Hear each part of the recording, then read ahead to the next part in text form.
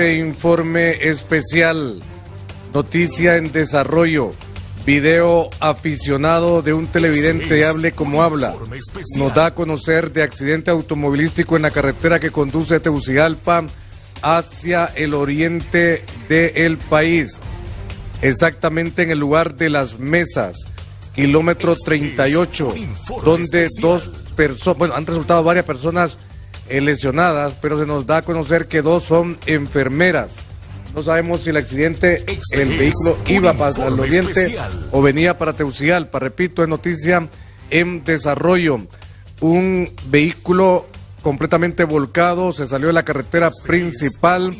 Esto, carretera oriente a la altura de las mesas. Ya más adelante estaremos dando mayores detalles, pero mucha atención también a este informe.